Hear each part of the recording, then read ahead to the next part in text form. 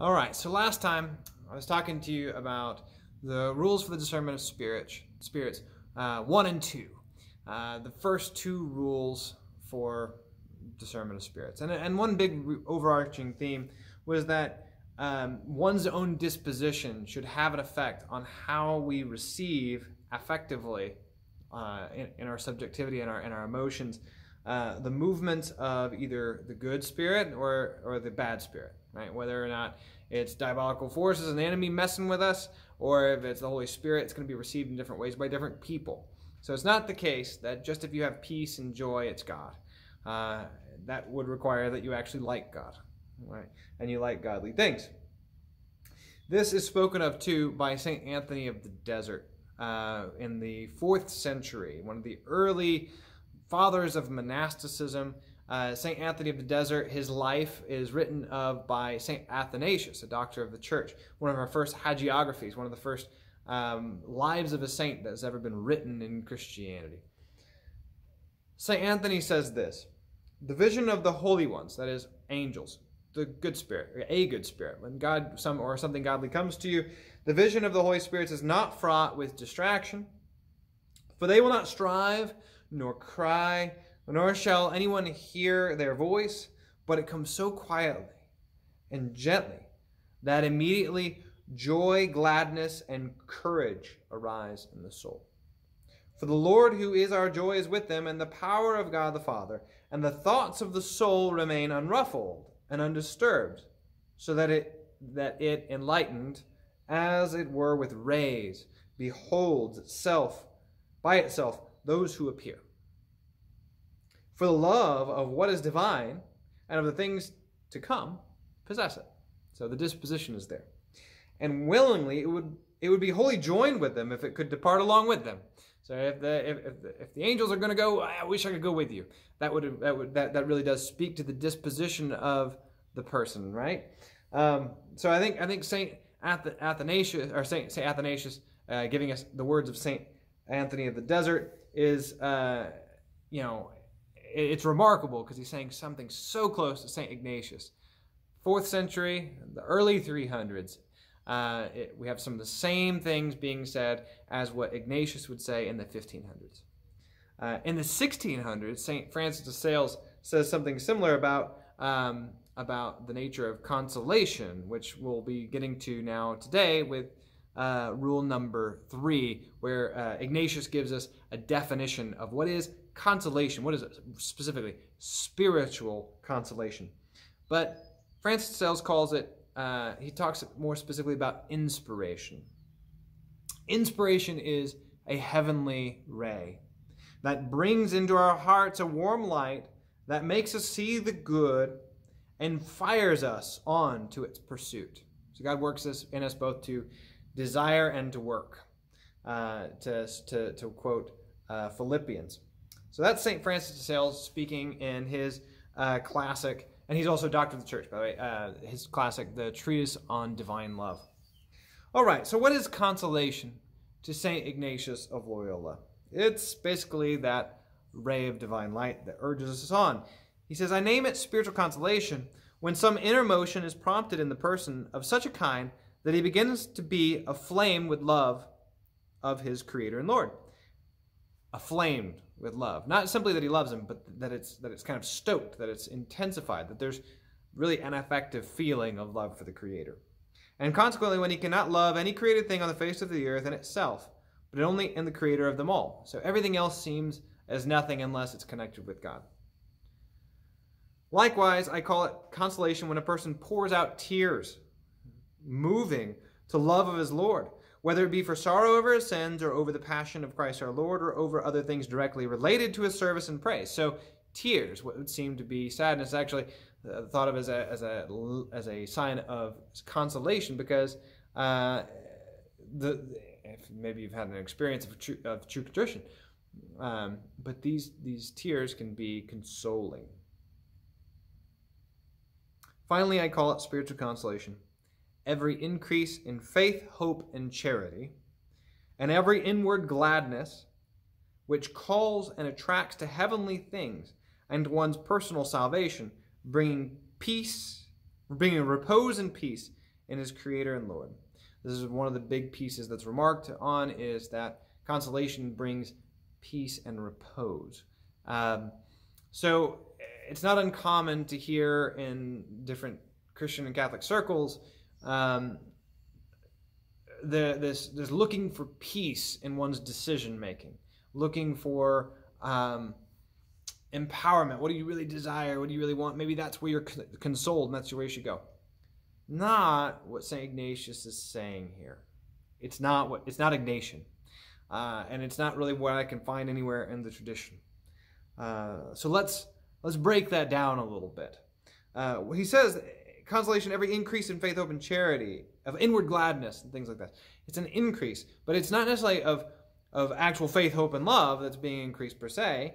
It's that it's that affective feel of faith, being faithful and hopeful and loving. And the reason I say this is because even amidst desolation, when you have no gladness, uh, the Holy Spirit is still operative there uh, at another layer, making us have acts of faith, hope, and love. We won't say at the one of the highest points of Jesus' own work that he was totally in, in consolation. He was also very much in desolation when he was making the ultimate acts of faith or, or of love on the cross, right? And, and so we, we should look to our Lord too and say, okay, what does it mean if I'm sweating sweating blood in a garden uh, in desolation. Uh, is it the case that at that time I have no faith, hope, and love? No. Um, that would be a really sad thing. Because that would mean that we're only good Christians when we're in consolation. Um, one of the great commentators on the rules for the discernment of spirits and the English speaking world in the 20th century is a guy named Jules Toner. And he writes about this specific thing he says that we have to sever this bond between spiritual courage and energy that spiritual consolation gives us, and um, and a kind of a, a, continual kind of baseline peace that every Christian should have. That our that our, our hearts are guarded in a certain kind of peace at some level within ourselves, even if we're sad. That there's something that says God's got this in control. That even if I'm crying tears or I'm depressed, that there's a general overall faith and hope that's still there we got to distinguish that from these these moments of an intensified feeling of it. He, says that some speak scornfully of loving and serving God and neighbor with gritted teeth, as if there were any alternatives at time for those who want to be faithful.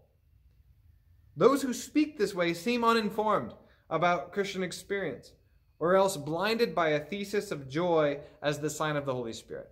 Now, the Holy Spirit is only operating whenever, when, surely whenever I'm in joy. No, sometimes it's just with gritted teeth amidst desolation, we make acts of faith, hope, and love. Nevertheless, right, according to Francis de Sales again, he says, without inspiration, our souls would live idle, sluggish, useless lives.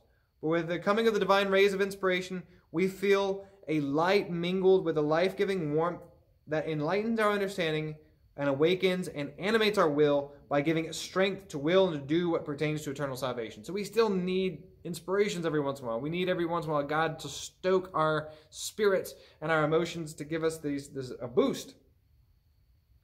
Um, so that's one piece, right? The other piece is um, it's not always easy to know whether or not you have a spiritual consolation or just some consolation uh, of a natural kind. Let's say I have a really pretty awesome life, pretty consoled, cush, uh, and and and then all of a sudden I I, I feel a boost.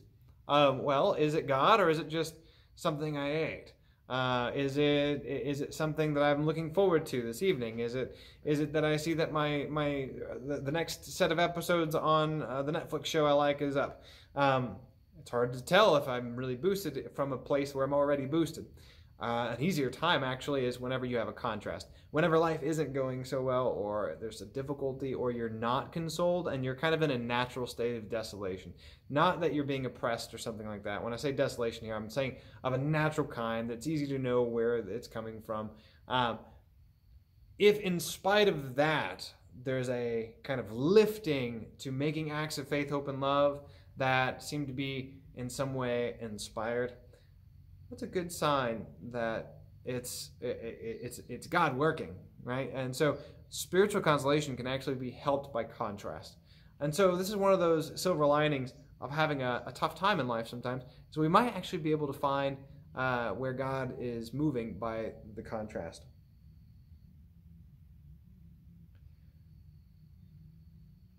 Now, this this this sense of consolation sometimes is used as a way of trying to make decisions in Christianity, and uh, and Ignatius isn't against it. In fact, his rules for the discernment of spirits has to do with a certain mode of decision making, where you would weigh the motions of the soul over time.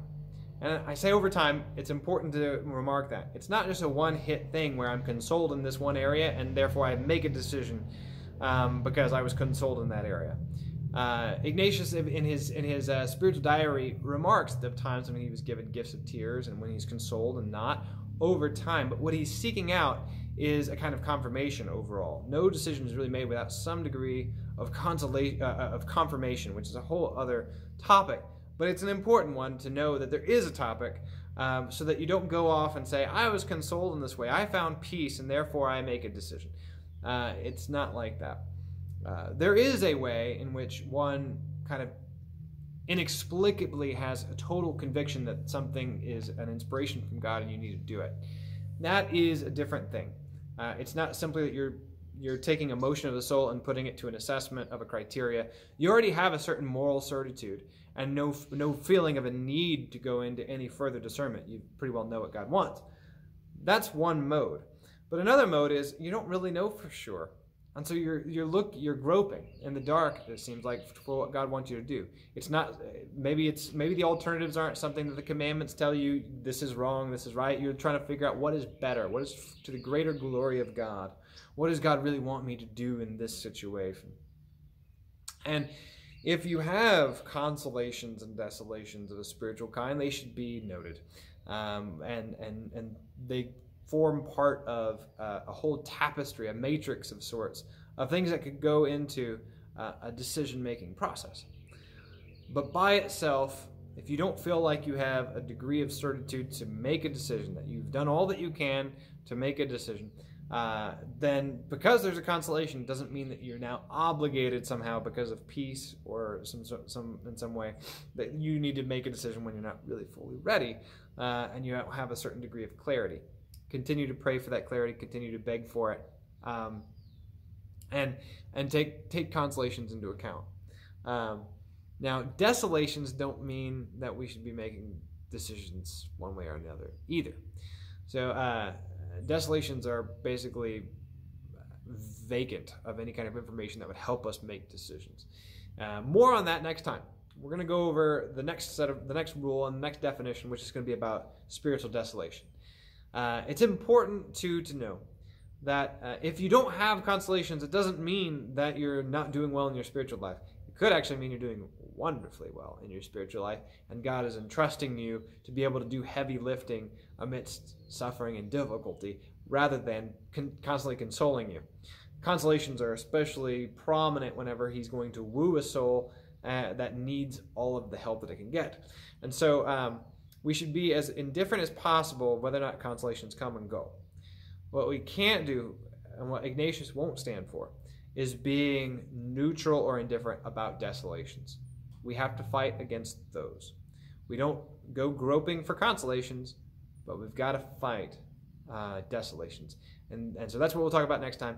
Uh, I hope this is helpful uh, and maybe putting some context on the place for interior um, kind of affective peace and joy. Uh, that it, they're important, but they're oftentimes fleeting, and uh, and they can work our way toward a decision but they don't make the decision for us as good Christians. It doesn't, uh, prudence isn't reduced down to something uh, so emotive and, and transitory. Uh, and even Ignatius uh, gives us good rules for that. Um, and we, we, hear, we hear Francis Sales talking about it, we hear um, Anthony of the Desert. So, by way of closing, three good marks, three of the best and surest ways to know if you have a lawful inspiration according to St. Francis de Sales in his treatise on uh, divine love. The three best and surest marks of lawful inspiration are perseverance, in contrast to inconstancy and levity. Peace and gentleness of heart in contrast to disquiet and solicitude. And humble obedience in contrast to obstinacy and extravagance. So, three things perseverance, peace and gentleness of heart, and humble obedience. These are marks of lawful inspirations. He'll even go to the point of saying one of the first things that the Holy Spirit inspires is proper obedience. And so you'll you, you'll you'll get you'll get a good sense of of this as you as you continue going on. I hope this is helpful. And I look forward to talking to you again soon.